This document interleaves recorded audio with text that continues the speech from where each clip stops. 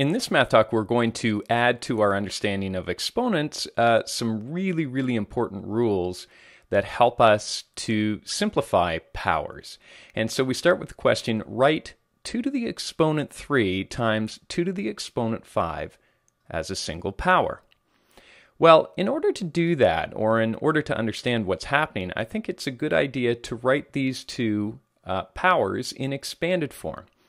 So 2 to the exponent 3 really means 2 times 2 times 2. That's the 2 to the exponent 3 part.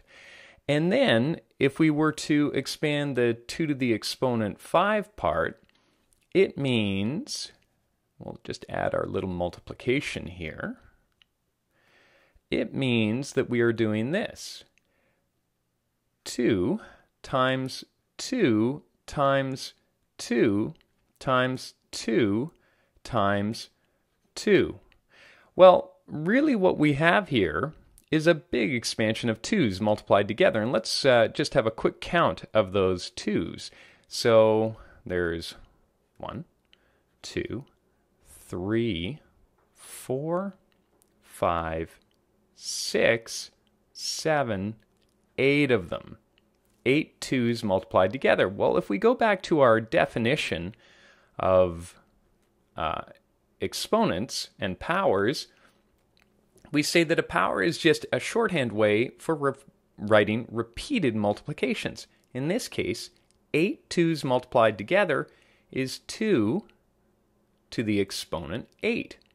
Now, you might take a look at the original question and say, wait a second, we had a 3 and a 5 here. Is there any way to get from the 3 and the 5 to the 8?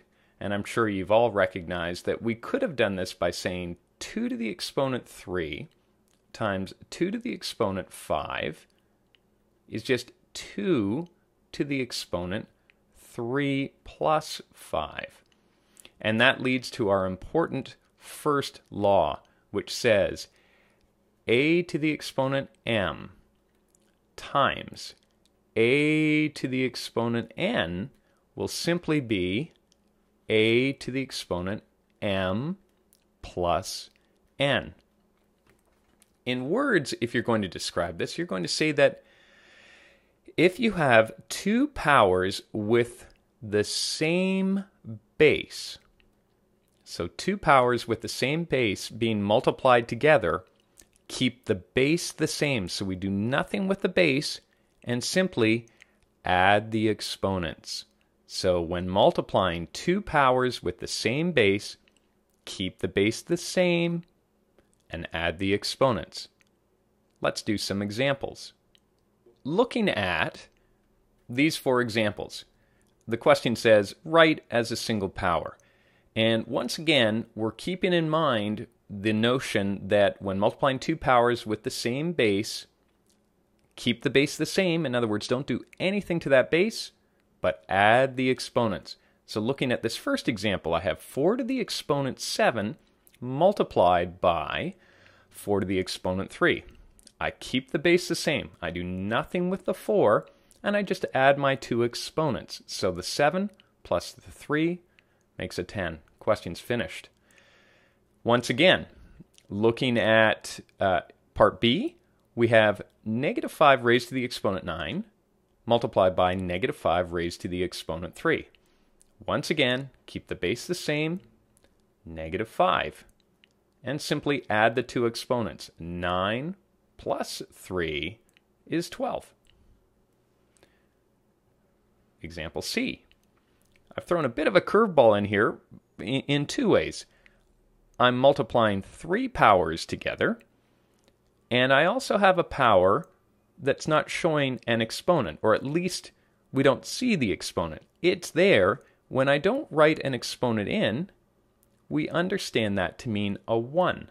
So anytime you see a standalone number like a 10, a 4, a 5, with no exponent on it, you can assume that that, that exponent is a 1. Now, when I multiply all of these together, we have 10 to the exponent 1 times 10 to the exponent 8 times 10 to the exponent 15. things don't change. We still keep the base the same and add the exponents. 1 plus 8 plus 15 works out to a value of 24. So we have 10 to the exponent 24, which, by the way, is an enormous number. I always like to extend what we're doing to variables, unknowns, because the rules still apply.